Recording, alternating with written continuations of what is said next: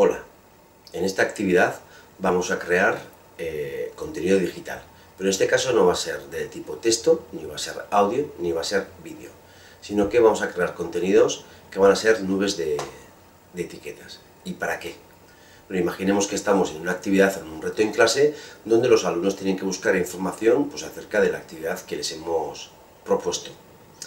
Antes de nada, habría que acordar entre los alumnos y el profe cuáles son las palabras claves de esa actividad, para un poco centrar las búsquedas en, Internet.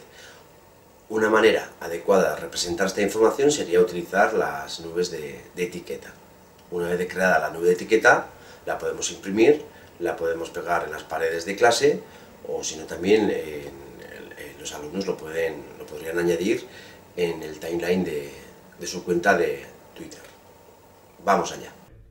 Vamos a empezar a utilizar una aplicación para crear una nube de, etiquetas. Para ello tenéis en internet varias opciones. La que vamos a mostrar aquí es la que antes se llamaba Tagul y hoy en día se llama eh. ¿Vale?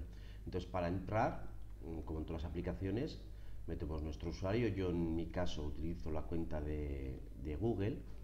Eh, ya veis, me aparece la primera página, la página inicio de la aplicación y aquí me aparecen todas las eh, nubes de etiquetas que he creado hasta ahora.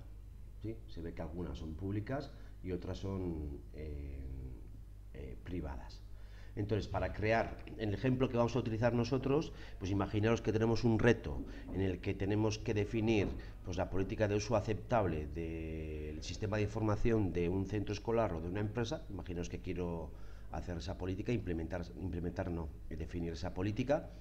Entonces, eh, para buscar información sobre ese reto, pues si ya hemos identificado las palabras claves de ese, reto, vamos a hacer, vamos a crear una nube de etiquetas para ir ambientando un poco el, tema en, clase o en las redes sociales. ¿Vale? Entonces para ello, para crear una nube de etiquetas, le damos al botón de Create y lo primero que haremos es darle un nombre a mi nube de, a mi nube de etiquetas. En este caso le llamaremos Mm, por ejemplo, política, uso aceptable. Lo primero que nos aparece son las palabras, que, las palabras clave que van a formar eh, esta nube de etiquetas. Entonces, imaginaros pues, que empiezo a poner eh, uso aceptable. Sí. Eh, la segunda, sistema información. Otra palabra clave, usuario otra palabra, clave, eh, por ejemplo, derechos, obligaciones. Y por último pondremos la palabra clave formación. Entonces, si no quisiera hacer nada más, de primeras tengo la opción de visualizar una nube de etiquetas con las palabras clave que ya eh, seleccionado. Le damos al botón de visualizar y automáticamente me va a crear me va a crear una nube de, etiquetas con esas palabras clave. Entonces aquí tenemos la, nube de, etiquetas que me ha creado por defecto esta aplicación. Eh, tenemos aquí dos formas de visualizar, una es la forma de visualizar por animación y la otra es la de la edición. Eh, si quiero editar manualmente el color, el tamaño, eh, el tipo de letra de alguna palabra clave, pues entraría en el modo edición puedo elegir una palabra clave en concreto y, pues, por ejemplo, cambiarle el, color. ¿Sí? Lo puedo hacer manual. También tengo aquí la opción de no repetir las palabras clave en la, en la nube de etiquetas. Deselecciono la opción de repetir y si le doy a visualizar, pues veo que solamente me aparecen las palabras clave eh, seleccionadas y una vez. De que se repitan las palabras clave.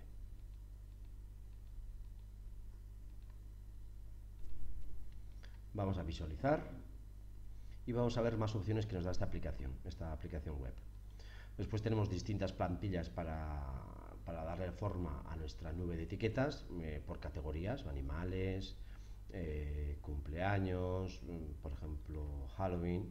Si quisiera darle la forma de la cazuela de, Halloween, elegiría esta, esta plantilla y visualizándolo me aparecería mis palabras clave con esa forma.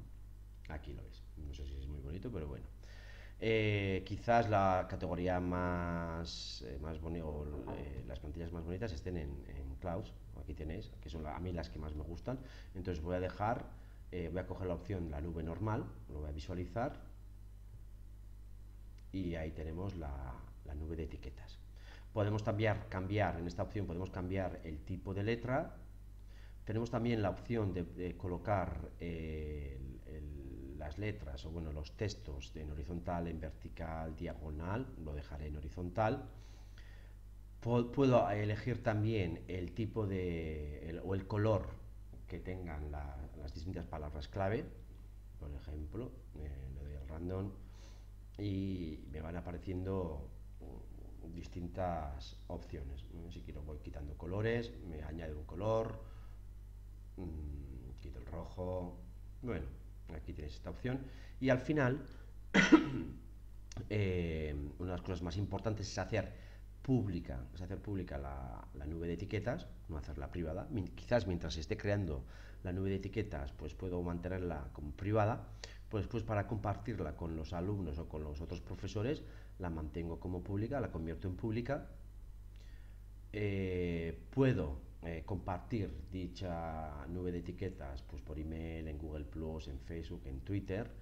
Y también puedo hacer la descarga de esa nube de etiquetas eh, como imagen. Le voy a dar la primera opción porque estas tres opciones que son de calidad, nos devuelven imágenes de calidad más alta, son opciones que se pueden utilizar en las, en las versiones de pago. Esta no, la primera no. La de calidad estándar, le doy y empieza a descargar empieza a descargar la nube de etiquetas que acabo de eh, crear.